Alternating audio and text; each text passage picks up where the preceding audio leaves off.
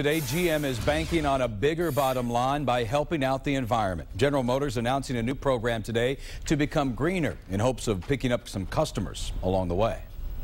GM has become leaner since a 2009 government bailout, spending less and paying down the $50 billion owed to the U.S.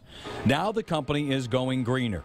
CEO Dan Akerson in a statement today says, our long-term approach to sustainability enables us to increase efficiency and reimagine personal mobility to best meet customer needs and lifestyles.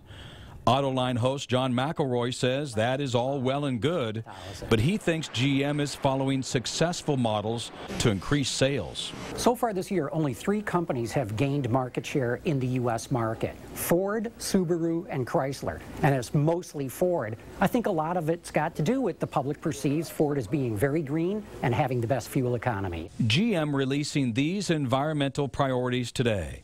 The company reports a goal of reducing energy use in their plants by 7% and its facilities carbon emissions by 5% and report the company has been doing so since 2010.